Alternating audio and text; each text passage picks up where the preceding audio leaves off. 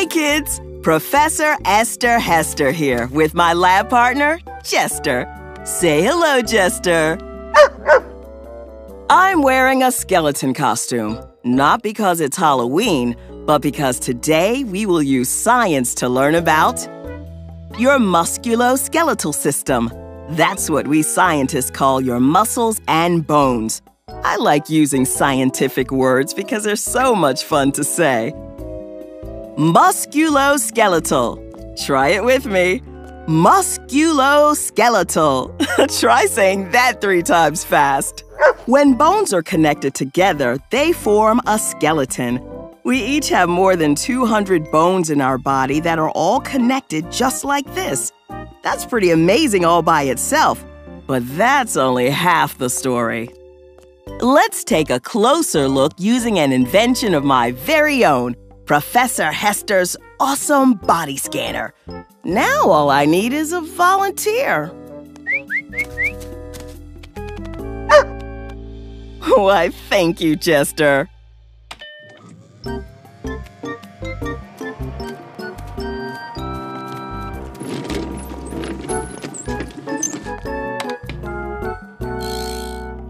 This is Jester's skeleton. See those places where the bones meet each other? Those are called joints. These joints right here allow his legs to bend back and forth when he walks. Right now, it looks like Jester's skeleton is moving on its own. But if we adjust my awesome body scanner, we can see Jester's muscles. What a strong dog you are! When Jester wants to walk, his brain tells his muscles to move. His muscles are connected to his skeleton, so when his muscles move, his skeleton moves too. Talk about teamwork.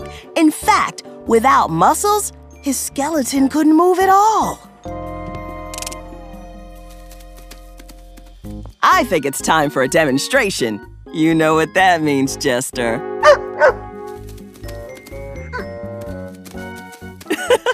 Right, time for a Professor Hester tester.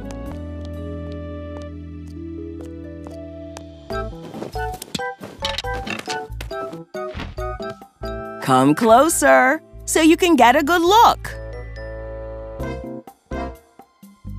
These two straight pieces are like bones. This round piece is like a joint. I'll connect these two straight pieces to the joint like so.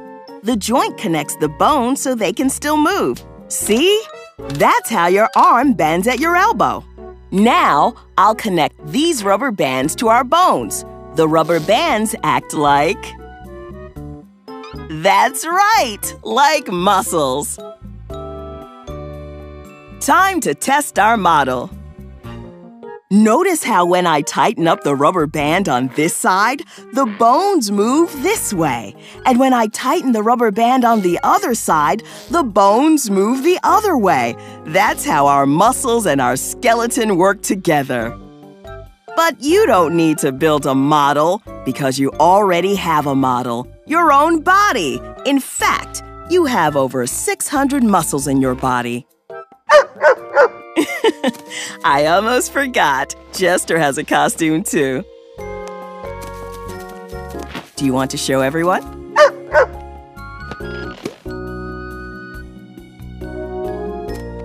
Look at us, Jester. We're the musculoskeletal system. I can't wait for Halloween. that trick deserves a treat.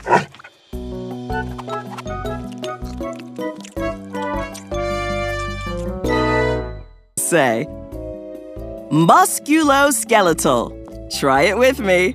Musculoskeletal. Try saying that three times fast. When bones are connected together, they form a skeleton. We each have more than 200 bones in our body that are all connected just like this. That's pretty amazing all by itself, but that's only half the story. Let's take a closer look using an invention of my very own, Professor Hester's awesome body scanner. Now all I need is a volunteer. Why, thank you, Jester.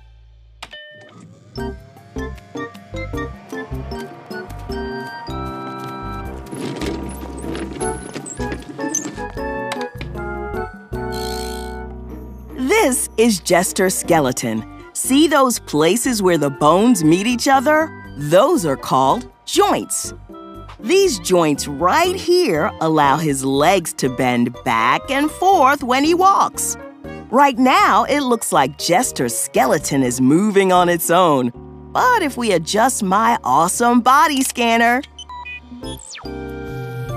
we can see Jester's muscles. What a strong dog you are! When Jester wants to walk, his brain tells his muscles to move. His muscles are connected to his skeleton, so when his muscles move, his skeleton moves too. Talk about teamwork. In fact, without muscles, his skeleton couldn't move at all.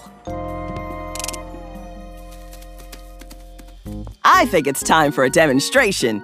You know what that means, Jester.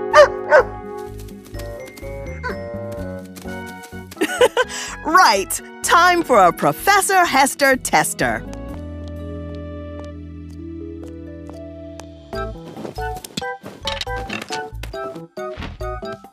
Come closer so you can get a good look. These two straight pieces are like bones. This round piece is like a joint. I'll connect these two straight pieces to the joint like so. The joint connects the bones so they can still move. See? That's how your arm bends at your elbow. Now, I'll connect these rubber bands to our bones. The rubber bands act like… That's right, like muscles.